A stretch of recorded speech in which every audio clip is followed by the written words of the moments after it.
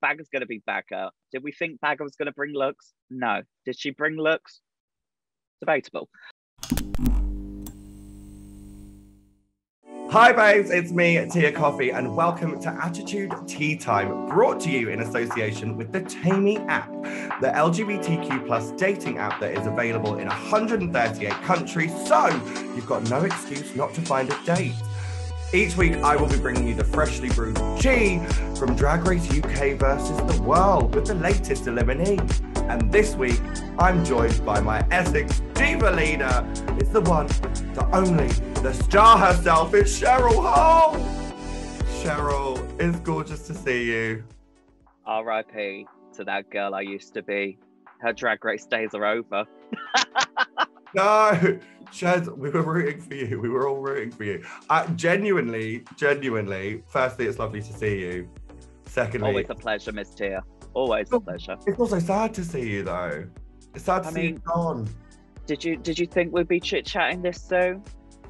I do you know what I didn't.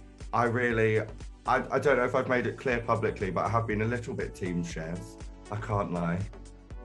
My my Miss Tia, shut your mouth for a minute.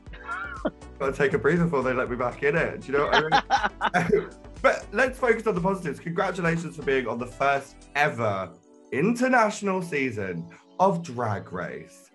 Thank you, my dear Divalina. In all honesty, not not many queens get the opportunities that we get, and the fact that I was given a second opportunity to show the growth, the evolution, uh, the not so mediocrity anymore because uh, I'm leaving that in 2021. Uh, I was just I was just blessed because at the end of the day, it's Rue's decision who she wants back on a on, on a platform on her stage, and the fact that she had me back, I was just over the moon. And Tia Kofi for season two. Uh, well, if you're leaving mediocrity in 2021, maybe I'll get the chance to leave basic behind in 2022. Who knows? Baroness Basic. Look, we're, we're leaving it in the past. It's all about the future. In the words of Kim Petras, the future starts now. Yes, my coconuts. Very true. Very true. Do you want to put them in your mouth? now I've got to ask. Okay, as a seamstress myself, a skill. Both of us famously. famously, we are couturiers. Is that a word even? I, will ask A'Whora. I don't know anything about fashion. Um, don't ask me. I'm from Essex. Same. Um, it was a sewing challenge, and it did feel like, and I think Mo actually did say this, it did feel like you were sort of setting yourself up for the drop, for the fail. Was that like intentional, or is that your inner saboteur coming out to play and get fruity? I am ever the optimist, but also with optimism has to come a sense of realism. So it was a bull. Uh, whilst our challenge is to construct something and design something, that is the main bulk of it. The ball element can sway you from being low, bottom two, safe, and you can teeter between the, the categories of where you'll place. I was kind of hoping in that moment that I was going to be safe and just skate on by uh, because I didn't think Baga was going to turn out a look. so I kind of was hoping that I had some saving grace. But you know what? It is what it is. Do you think the judges just forgot the first two looks that everyone was wearing? Because it seemed to be very heavily focused on what was sewn, not all three elements of the look. I think the other looks were like the bonus features, the DVD content. yeah. So that's what that's what people were focusing on. What was there in front of them? Like, how can you escape what's right in front of your eyes? Like, it's all you can see. And I'll, I'll keep it 100. I definitely sewed it very dodgy in the hour and a half that I had to make it. So I was holding the dress under my armpit and just posing because I didn't want Michelle to see that I had a saggy uh, armhole. So I don't actually think that it was that bad. Do you think anyone else should have been in the bottom in your place? No, no, no, no, no. 100% I deserve to be there just based on the garment. Uh, I loved my Butch Queen look. I was I was living my uh, Charlie's Angels pit crew fantasy, ready to take on Rihanna and shut up and drive when she wants to come back from being a newly found mum. But honestly, I was so proud. Like we get we get given this list of looks to bring, and this time around, I knew exactly what I wanted to do. I didn't teeter between some things. So when I saw Kitty Girl, I was like, I'm gonna be Bloody Marie from the Aristocats, like the cute little feline diva. Why not? It's gorgeous. You are gorgeous. But other people, you actually made your look yourself, whereas Baga appeared not to have. Did Pangina really help her that much? Did she sew any of it herself? Was Baga present in the room at the time that the garment was made? She was having a stinky or something. No, uh, in all honesty, we all had help. Janey wouldn't have been in the top if Mo hadn't been like, girl, stop working with that fabric. Mm. Start working on something with a bit of stretch and let's get to work. We all helped each other. We all were there for each other. Like it's a competition, but we're not gonna let people fail for the sake of moving on for another week. Like it was just unfortunate that I buggered the leg the legs on my catsuit that I was making and I had to make that dog awful dress in an hour and a half. But Baga Baga had help. There's no denying that. We all saw that. But I'm a diva that if I'm tasked to do something, I will do as much of it as I physically can. Right. Who did you think was your biggest competition when you walked into the room? I mean, obviously, I walked in the room and there was only Baga and Blu there, so I was like, "Oh, I've got, I've got to beat Blu again now." Like, look, Baga's, Baga's going to be Baga. Did we think Baga was going to bring looks? No. Did she bring looks? Debatable. love her to pieces. We all love her.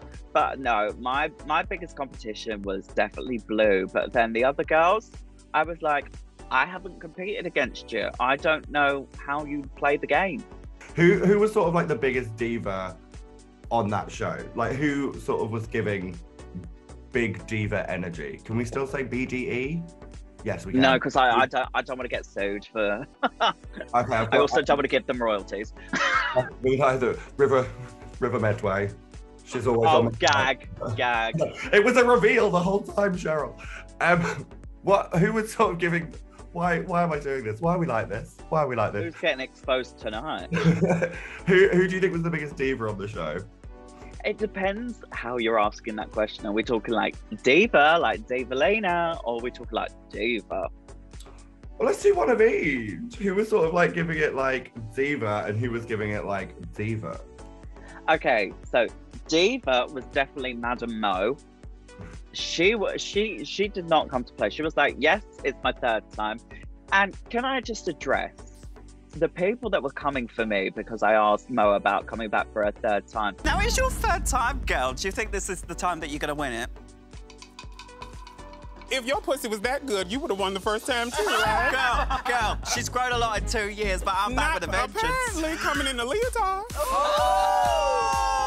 You clearly don't know me because that was in jest and in joke, like banter, like, "Lol's, you're back. Are you ready to? You ready to party?" And like people thought I was coming for Mo. I was like, uh, first of all, I would never come for Mo because look, she clapped back at my uh, my outfit, and I was like, honey, this is this is head to toe stone. Like you you can't touch it.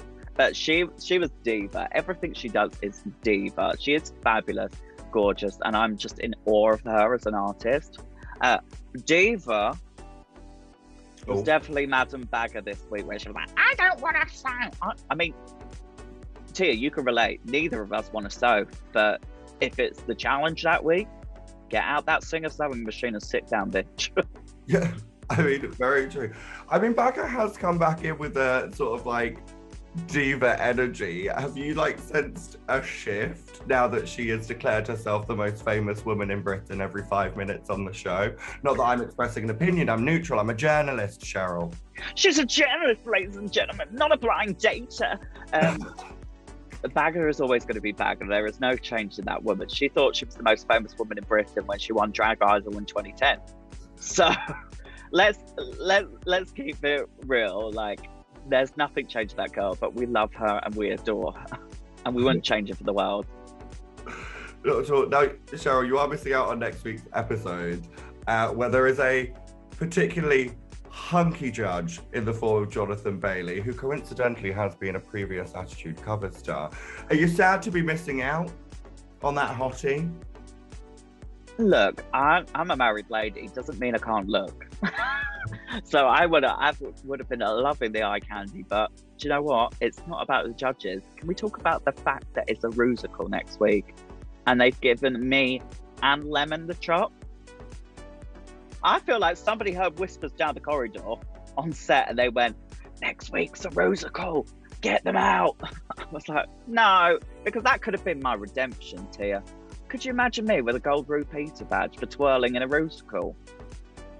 I mean, I can't imagine what a repeater badge even looks like because one thing we have in common is we've never seen them. So I mean, let let's hark back to the talent show. No badges, but who really needs a badge? So true. I mean, I feel like you would have done very well at that musical, actually. I would have loved to have done it, but hey, nature of the game. Uh, let's hope there's another season and I come back like Choo Choo. Would you? Would you come back time and again?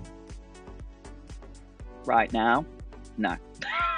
I, I can't put. I'm, I'm still I'm still a broken D, Belina, from the first time around. Like that was traumatic. Like I was lucky season one that I made seven out of eight episodes and got as far as I could. I left on a high. Even this time, I look. I was always told always leave with your head held high and a smile on your face, regardless of the outcome whether that's an audition, whether that's uh, an exam result, you always leave with your head held high. So I put on my brave face. But yeah, I was devastated. Um, and I don't think I can put myself back into the Thunderdome quite yet until I have true belief that I could give it my all again without doubting every single thing. Shez, it's been gorgeous chatting to you, catching up, and just appreciating your time on Drag Race UK versus the world. And I'm obsessed. I love you, Shez. I really do. I love you, my Diva Lena, and I cannot wait to see you in person very, very soon. Thank you for watching Attitude Tea Time, brought to you in association with the Taimi app.